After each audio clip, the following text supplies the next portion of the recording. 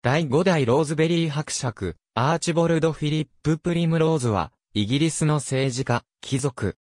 1868年に爵位を継承し、1871年から貴族院議員として政界入りした。自由党に属し、ウィリアム・グラッドストンの政権で閣僚を歴任。グラッドストン引退後に、イギリスの首相を務めた。1851年から1868年までは、ローズベリー伯爵家の法定推定相続人として、ダルメニー教の儀礼称号を称した。1847年に、スコットランド貴族ローズベリー伯爵プリムローズ家の嫡男として生まれた。イートン校を経て、オックスフォード大学、クライストチャーチカレッジへ進学した。1868年に爵位を継承し、1871年から自由党の貴族院議員として政界入りした。1879年のミッドロージアンキャンペーンでグラッドストンを助けて自由党の勝利に貢献し、第2次グラッドストン内閣で内務省政務次官、ついで王子小書権建設長官を務め、第3次グラッドストン内閣と第4次グラッドストン内閣では外務大臣を務めた。1894年3月にグラッドストンが引退するとビクトリア女王より対命を受けて組閣した。しかし彼は自由党内の帝国主義派のグループ、自由帝国主義派の領袖だったため、アイルランド自治法案に消極的であり、アイルランド議会党との関係を悪化させた。貴族院を支配する保守党の協力も得られず、政権運営はすぐに行き詰まった。さらに庶民の自由党指導者で、財務大臣として入閣していた、ハーコートと対立を深め、閣内分裂状態に陥った。結局ハーコートが主導した相続税の導入を数少ない自責として1895年6月に内閣総辞職した。ゲア後もしばらくは野党自由党の党首を務めたが、ハーコートとの党内対立が続き、1896年10月には党首職も辞職することになった。保守党政権が第二次ボア戦争を開始すると、アスキスラと共に自由帝国主義派の政治家として野党の立場から政府の戦争遂行を支持し、ロイド・ジョージら戦争に反対する党内左派と対立した。また1902年には、党のアイルランド自治法案の方針を批判し、アスキスラと共に自由連盟を結成して、党首キャンベル・バナマンとの対決姿勢をあらわにした。しかし保守党政権の植民地大臣チェンバレンが提唱した関税改革論に明確な反対姿勢を打ち出さなかったことが自由、帝国主義派の議員たちの間での彼の人望を落とすことにつながり、1904年までには党内における影響力を完全に喪失し、自由党内で孤立した存在となった。1904年12月からの自由党政権に入閣することはなく、同政権と距離を置いた活動を行ったが、1911年以降は貴族院に出席しなくなり、実質的に引退した。1929年に死去した。若くして爵位を継承したため、庶民院議員を経ることなく貴族院議員となっており、19世紀末の首相としてはやや適性を欠いていたと指摘される。性格は、おおらかだったので人望はあったという。にもかかわらず、彼が、早期に権力を失った理由について、ベアトリス・ウェッブは、社会政策の無知に原因を求めている。妻は、メイヤー・アムシェル・ド・ロスチャイルド男爵の一人娘ハンナ。彼女との間に、第六代ローズベリー伯爵位を継承する、ハリーはじめ二男二女を儲けた。1847年5月7日に第4代、ローズベリー伯爵、アーチボルド・プリムローズの嫡子ダルメニー卿、アーチボルド・プリムローズの息子として、ロンドンのバークレースクエアで誕生。母キャサリンは、第4代スタンホープ伯爵、フィリップ・ヘンリー・スタンホープの娘。父ダルメニー卿は、スターリング選出の庶民院議員で、第2代メルバーン子爵、ウィリアム・ラム首相の下で、海軍本部委員の一人を務めたが、襲爵前の1851年に死去した。代わって彼が、ローズベリー伯爵くらいの法廷推定相続人となり、ダルメニー卿の儀礼称号を帯びた。また母は、第4代クリーブランド公爵ハリー・ポーレットと再婚した。イートンカレッジを経て、オックスフォード大学、クライストチャーチカレッジで学ぶ。1879年のミッドロージアンキャンペーン中、ローズベリー伯爵邸ダルメニーハウス前で、一番手前に座る人物が、ローズベリー伯、中央で椅子に座る人物が、グラッドストン大学在学中の1868年に、祖父の死去により襲爵した。襲爵した爵位の中には、連合王国貴族、ローズベリー男爵位があったため、1871年2月から貴族院議員に列する。ローズベリーの名が広く知られるようになったのは、1879年に自由党のウィリアム・グラッドストンが行ったミッドロージアンキャンペーンによってであった。一連のベンジャミン・ディズレイリ政権批判において、ローズベリーは、資金提供と舞台演出を担当し、1880年総選挙での勝利に貢献した。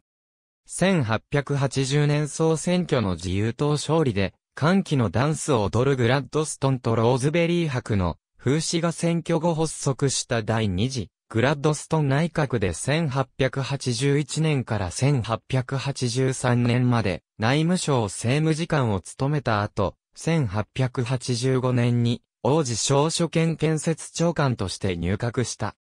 1886年の第三次グラッドストン内閣では外務大臣として再び閣僚となった。1890年に妻と死別してからしばらく政界から距離を置いていたが、ビクトリア女王らの説得もあって復帰し、1892年の第4次グラッドストン内閣で再度外務大臣に任じられた。外務大臣としての彼は、イギリスが占領下に置いていたエジプト王国からの撤兵に反対し、フランスやドイツとの勢力争いの舞台となっていた、ウガンダの排他的支配を主張した。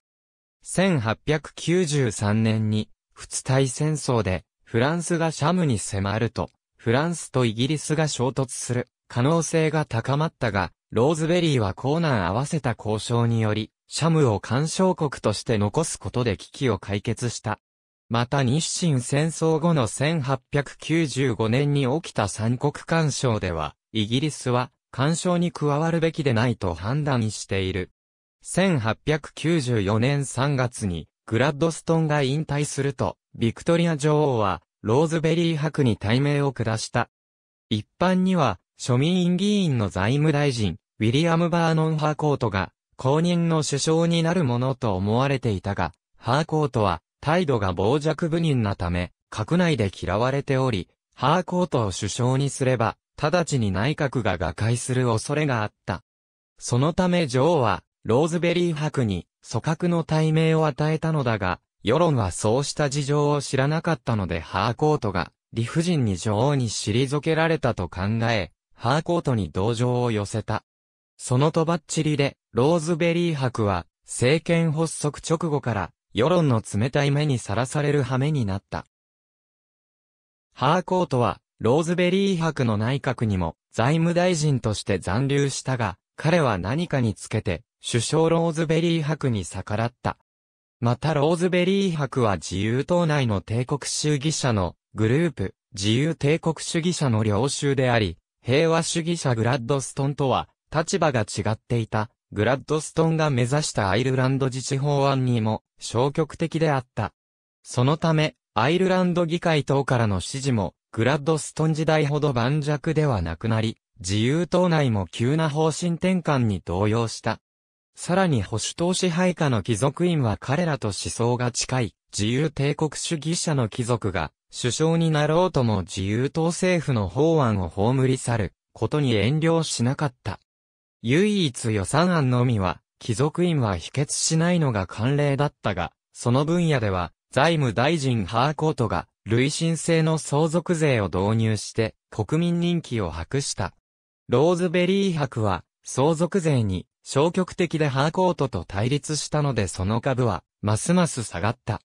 ローズベリー伯は首相をやることにうんざりし、私は、ゴミ捨て場のようなものさ。何かいいことがあれば開示文にとっておき、嫌なことは全部私に押し付けると愚痴るようになった。結局1895年6月に陸軍予算の火薬不足に関する法案が否決された件で陸軍大臣ヘンリー・キャンベル・バナマンが辞職を表明した際にローズベリー伯もそれに同調して、総辞職を決定した。ここで強引に踏みとどまったところで、ウェールズ国教会問題で敗れるのが、オチと判断したためだった。こうして、ローズベリー伯内閣は、史上稀に見る弱体内閣として短期間で瓦解した。代わって、首相となった保守党の第3代ソールズベリー侯爵ロバート・ガスコイン・セシルは、直ちに解散総選挙を行って勝利したので、自由党は当面野党になる見通しとなった。下野後も自由党党首を務めていたが、自由党庶民院院内総務ハーコートとの党内対立は続いた。ローズベリー伯は、ハーコートとの同席を嫌って、影の内閣の会議にもあまり出席しなくなり、ハーコートが独断で党の方針を決定するということが増えていった。そのような中の1896年10月に、ローズベリー博は、エジンバラで行った演説において、突然党首辞職を表明した。表向きは、アルメニア人虐殺事件をめぐって、前党首グラッドストインが自分と異なる意見を述べたことを理由としたが、実際には、ハーコートに対する当てつけであるのは、明白だった。首相たる党首として14ヶ月、在野の党首として18ヶ月の在任だった。ローズベリー伯の辞職について、ハーコートは、党首が去っても何も変わらんよ。自由党員が一人減っただけだ。お先真っ暗なので、帽子を取ってさよならしたのだろうと嘲笑的に語った。1901年のバニティフェア誌に掲載されたローズベリー伯の似顔絵、ローズベリー伯の辞職後、ハーコートが自由党党首となったが、嫌われ者のハーコートでは党内をまとめられず、1898年暮れには、彼も党首職を辞することを余儀なくされた。代わって、ヘンリー・キャンベル・バナマンが党首となった。保守党政権が第二次ボア戦争を開始すると、ローズベリー伯は、ハーバート・ヘンリー・アスキスやリチャード・ホールデンらと共に、自由帝国主義派として、政府の方針を支持し、ロイド・ジョージら戦争に反対する、党内左派と対立した。当初自由帝国主義派が優勢だったが、ボア戦争の戦況が泥沼化してくると、党内の空気は、親ボア派に傾いていき、曖昧な立場を取ってきた党首キャンベル・バナマンも、親ボア派寄りになっていった。1902年初頭にローズベリー博は自由党のアイルランド自治法案の方針に反対を表明し、アスキスやエドワード・グレーラと共に自由連盟を結成し、党首キャンベル・バナマに対する公然の抵抗を開始した。この分裂騒動で自由党内は極度の混乱状態に陥った。しかしちょうどこの年からローズベリー伯の党内権力が急速に低下した。特に1903年以降になると自由帝国主義派議員の中で最も重要な大物議員とみなされる人物は、ローズベリー伯ではなく、アスキスになっていた。その原因は、第二次ボア戦争の終結で、もはや帝国問題が大きな争点にならなくなり、自由党内の最大の関心事項が、植民地大臣、ジョゼフ・チェンバレンの関税改革論への批判に移ったため、自由帝国主義派と自由党左派の対立が自由、貿易支持という共通の大義のもとに収束したことだった。この点において、ローズベリー伯はあまりに親保守党政権的態度を取りすぎたため、チェインバレンの保護貿易論にも明確な反対の意思を打ち出せなかった。これでは自由貿易を党是とする自由党内で影響力が落ちていくのも無理はなく、ローズベリー伯は自由帝国主義派の議員たちからも見捨てられてしまったのだった。1904年11月にキャンベル・バナマンがアイルランド自治法案を漸進的に進めると宣言したとき、ローズベリー伯はこれに反対を表明したが、かつての同志たち、アスキス、グレー、ホールデンらはいずれも、キャンベル・バナマンの方針に支持を表明している。すっかり孤立して、党内権力を喪失したローズベリー伯は、政治家というより、知識人層に訴えかける、政治評論家的な存在と化していった。